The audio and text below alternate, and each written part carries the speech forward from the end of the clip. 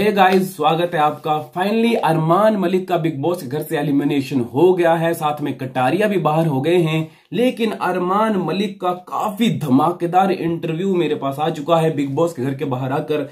अरमान मलिक ने कहीं ना कहीं बिग बॉस को एक्सपोज करने की कोशिश की। साथ ही साथ कृतिका को लेकर जब सवाल अरमान से पूछा गया तो जवाब में अरमान ने ऐसी बात कही कि यकीन ही नहीं हुआ कि अरमान कृतिका के बारे में ऐसा कह सकते हैं। अरमान मलिक ने अपने इंटरव्यू में विनर को लेकर भी बहुत बड़ी बात कर डाली है। पूरा का पूरा इंटरव्यू में आपको बताने वाला हूँ कि क्या कुछ हुआ है।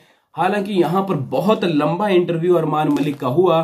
मेन मेन चीज़ें जो अरमान मलिक ने अपने इंटरव्यू में कही हैं वो मैं इस वीडियो में पूरी तरह से कवर करूँगा। चलिए बात करते हैं। अरमान मलिक के सबसे धमाकेदार इंटरव्यू की। तो पहला सवाल अरमान मलिक से ये पूछा गया कि आप बिग बॉस के घर से बाहर आ चुके हैं, इसको लेकर आप क्या कहना चाहते हैं? अरमान ने कहा कि मुझे यकीन नहीं हो रहा है कि मुझे इतनी जल्दी बिग बॉस के घर से एलिमिनेट कर दिया गया, जबकि घर के अंदर जितने भी सदस्य अभी भी मौजूद हैं उनसे ज़्यादा अच्छी गेम मैंने खेली। मैंने दिमाग लगाकर गेम खेली और घर के अंदर जितने भी कंटेस्टेंट हैं, उन सबसे ज़्यादा कंटेंट भी मैंने जनता को दिया। यहाँ पर आपको बता दूँ कि अरमान मलिक की ये बात बिल्कुल सही है।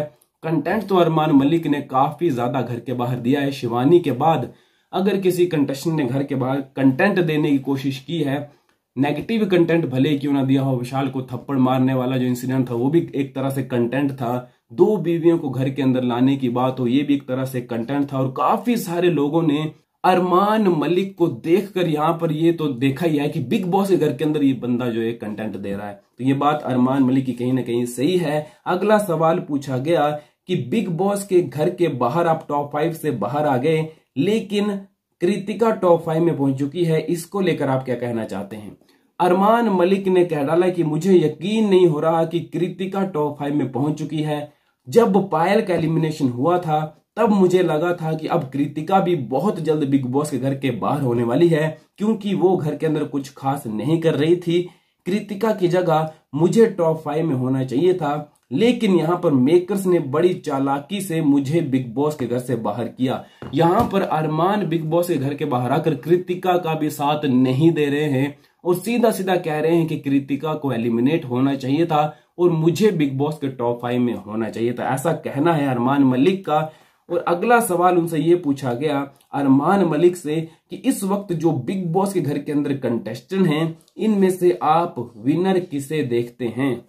अरमान मलिक ने इसका भी बड़ा अजीब सा जवाब दिया अरमान मलिक ने कहा, बिग बॉस के घर के अंदर जो टॉप फाइव कंटेस्टेंट बचे हुए हैं, उसमें मैं रणवीर शौर्य को विनर मानता हूँ। यहाँ पर कृतिका का नाम भी नहीं लिया, कृतिका को सपोर्ट भी नहीं दिखाया और सीधा रणवीर शौर्य का नाम ले लिया।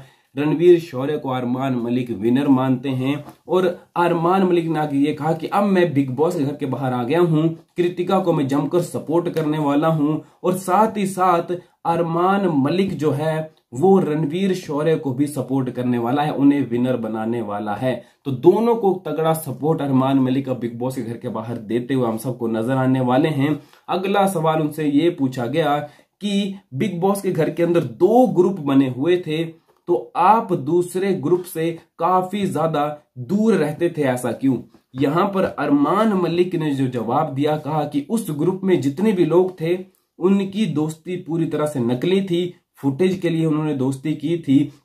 विशाल और लवकेश की दोस्ती सबसे ज़्यादा फेक थी और फेक लोगों के बीच में मैं एडजस्ट नहीं कर पाता हूँ, इसलिए मैं वहाँ नहीं गया। शिवानी हालाँकि उस ग्रुप में थी और शिवानी को मैंने कई बार कहा कि वो ग्रुप छोड़कर हमारे पास आ जाए, क्योंकि शिवानी कहीं ना कहीं उन सब में थोड़ा बहुत रियल नज़र आ रही थी, लेकिन शिवानी ने ऐसा नहीं किया। शिवानी को अरमान मलिक ने कहा भी था, ये सच बात है कि शिवानी को कहा था, अरमान मलिक ने कई बार कि उनको छोड़ दे, हमारे ग्रुप में आ जाए लेकिन शिवानी ने सीधा सीधा इनकार कर दिया था और कहा था कि जो लोग मेरा साथ दे रहे हैं, मैं उनके साथ रहूँगी, तुम्हारा भरोसा नहीं है, तुम किसी भी वक्त झगड़ा कर सकते हो और उनके बीच में मुझे रहना भी अच्छा लग रहा है। तो शिवानी ने साफ़ साफ़ इनकार कर दिया था अरमान मलिक को। अगला सवाल अरमान मलिक से पूछा गया, विशाल को जो आपने थप्पड़ मारा, उसको लेकर आप क्या कहना चाहते हो?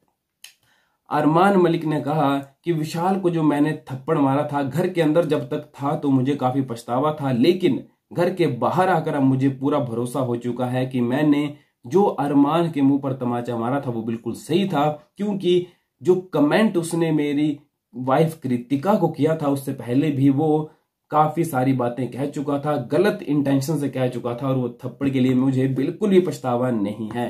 तो यहाँ पर भी अरमान मलिक ने उस इंसिडेंट की बात कही है। जब यहाँ पर विशाल ने कहा था कि भाग्यशाली भैया ऐसा करके कहा था तो इसके बारे में अरमान मलिक को बाहर आके पता चला होगा, क्योंकि इससे पहले अरमान को पता नहीं था। और अरमान घर के अंदर कई सारे टाइम तक अपने आप को ही दोषी ठहरा रहे थे। लव कटारिया को वो कहते थे कि इसकी वजह से मैंने थप्पड़ मारा है।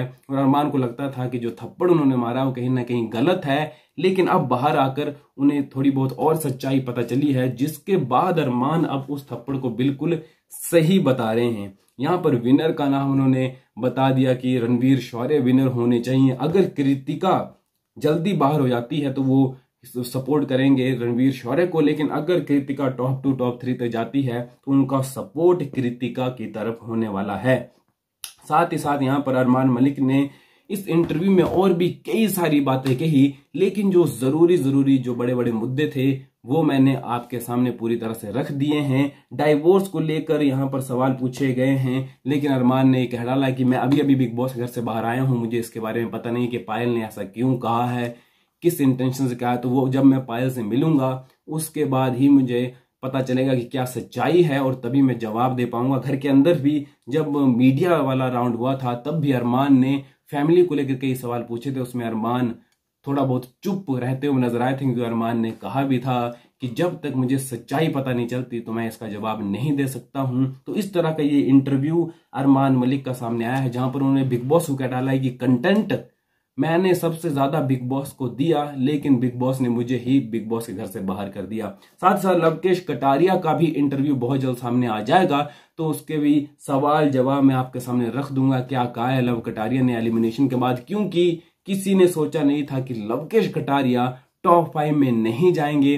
हालाँकि कई सारी वीडियोस में मैंने बताया था आपको कि मेकर्स पूरी तैयारी में है लव कटारिया को बाहर निकालने की। इसके पीछे की बड़ी चीज़ ये भी है कि अब घर के अंदर जो कंटेस्टेंट्स जा रहे हैं पिछले दो तीन सीज़न से, वो घर के अंदर अगर कुछ भी नहीं करें, अगर उनका फैंडम घर के बाहर तगड़ा है, तगड़ा सपोर्ट अगर उन्हें मिल रहा है, जैसे एमसी स्टैन ने भी घर के अंदर जाकर कुछ भी नहीं किया था, फिर भी वोटिंग के आधार पर वो जीत गए। तो ऐसे में बिग बॉस के बाहर जो लोग हैं, उनका ये मानना है कि घर के अंदर खेलना अब इम्पोर्टेंट नहीं रह गया है। जिसका तगड़ी फ़ैन फॉलोइंग है, जिसका तगड़ा फैंडम है, वो अगर सोया भी रहेगा फिर भी वो वोटिंग के अकॉर्डिंग जीत जाएगा तो इसको तोड़ने के लिए कहीं ना कहीं बिग बॉस ने लवकेश कटारिया को घर के अंदर कंडीशन की वोटिंग आधार पर बाहर कर दिया है। अलविश यादव भी जब आए थे, उनकी गेम तो अच्छी थी, लेकिन वाइल्ड कार्ड के तौर पर आए थे पिछले सीज़न में ओटीटी टू में।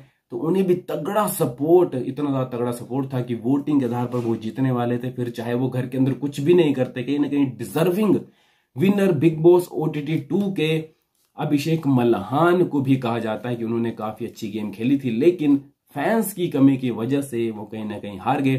चलिए, वो अलग बात है, लेकिन फ़िलहाल अरमान मलिक का धमाकेदार इंटरव्यू मैंने आपको बता दिया। इस वीडियो में बस इतना ही। लवकेश कटारे का इंटरव्यू बहुत जल्द सामने आ जाएगा तो उसके लिए चैनल को सब्सक्राइब करें, साथ में बेल आइकन को प्रेस कर दें और देख रहे होगा कि अरमान अब किसको सपोर्ट करते रणवीर शौर्य या फिर कृतिका को।